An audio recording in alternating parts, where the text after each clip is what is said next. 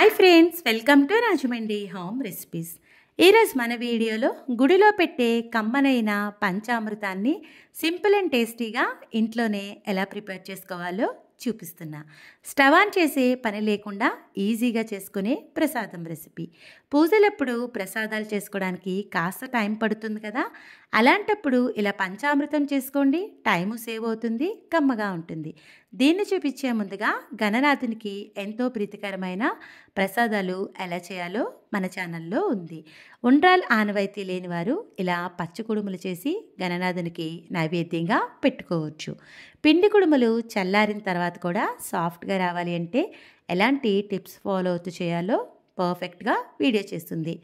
వంట రాని వాళ్ళు సైతం రవ్వ కుడుములను ఇలా ప్రెషర్ కుక్కర్లో చేసుకోండి. ఆవిరి మీద ఉడికించే పని కూడా ఉండదు. హెల్దీగా కావాలి అంటే గోధుమ రవ్వ ఉండ్రాలు చేసుకోండి. తీయగా కావాలి అంటే బెల్లం రవ్వ ఉండ్రాలు. గణనాథునికి ఎంతో ఇష్టమైన ఉండ్రాల పాయసం నేను చెప్పిన ఈ కొలతలు ఫాలో అవుతూ చేయండి. పర్ఫెక్ట్గా వస్తుంది. స్పైసీగా కావాలి అంటే తాలింపు ఉండ్రాలు చేసుకోవచ్చు. ఇది ప్రసాదం రెసిపీగా కాకుండా పిల్లలకి బ్రేక్ఫాస్ట్ రెసిపీగా కూడా చేసి పెట్టవచ్చు. గోదావరి స్టైల్లో బెల్లం హారతిని అమ్మ అమ్మమ్మ చెప్పిన టిప్స్ తోటి ఎలా చేయాలో కూడా వీడియో చేశాను. చాలా ఈజీగా ప్రెషర్ కుక్కర్లో పరవాన్నం పర్ఫెక్ట్ కొలతలతో కూడా చేసి ఉంది. ఇంట్రెస్ట్ ఉన్న వాళ్ళు ఒకసారి డిస్క్రిప్షన్ అయితే చెక్ చేయండి. పంచామృతం చేసుకోవడానికి నేను ఇక్కడ ఒక కప్పు నిండా ఆవు పెరుగును తీసుకుంటున్నాను. పంచామృతం అంటే ఐదు రుచులు కలిపినదనమాట దీంట్లోకి పచ్చి ఆవు పాలను అరకప్పు దాకా వేసుకోవాలి. కాచిన పాలను అస్సలు వాడకూడదండి. పచ్చి పాలనే వేసుకోవాలి. ఈ పాలలోకి పెరిగంతా కూడా బాగా కలిసేలాగా కలిపేసుకోండి. ఎక్కడ కూడా గడ్డలు లేకుండా బాగా మిక్స్ చేయాలి. చూస్తున్నారు కదా పాలలోకి పెరిగంతా కూడా బాగా కలిసిపోయింది. పెరుగు తీయగా ఉండాలి లేదు అనుకుంటే పంచామృతం రుచి మారిపోతుంది గుర్తుపెట్టుకోండి.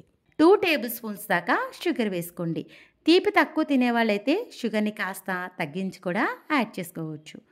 తేనెని ఒక టూ టేబుల్ స్పూన్స్ దాకా వేసుకోండి.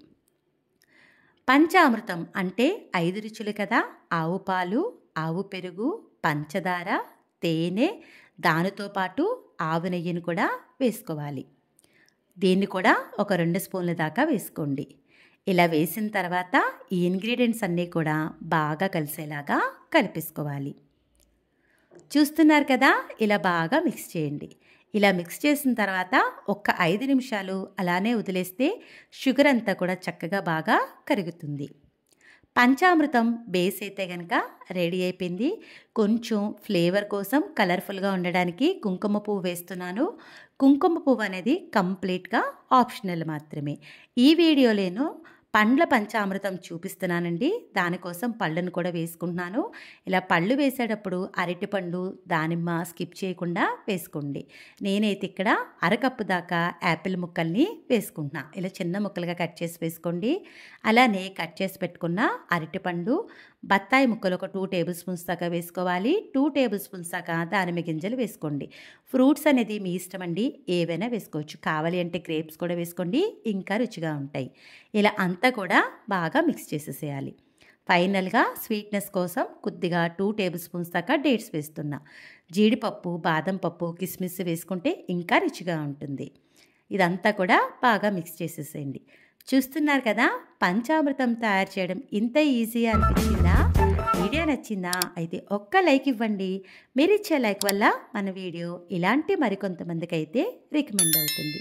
ఇంకెందుకు ఆలస్యం? నేను చెప్పినట్టుగా మీరు కూడా ఈ వినాయక చవితికి టెంపుల్ స్టైల్లో పంచామృతాన్ని తయారు చేసుకొని తయారు చేసుకున్న తర్వాత ఎలా వచ్చిందనేది మీ అమూల్యమైన ఫీడ్బ్యాక్ని మటుకు నా కామెంట్ సెక్షన్లో తెలియజేయడం మర్చిపోవద్దు. మీ అందరికీ నా వీడియో నచ్చిందనే అనుకుంటున్నా. Thanks for watching my video. Please like comment share subscribe my channel.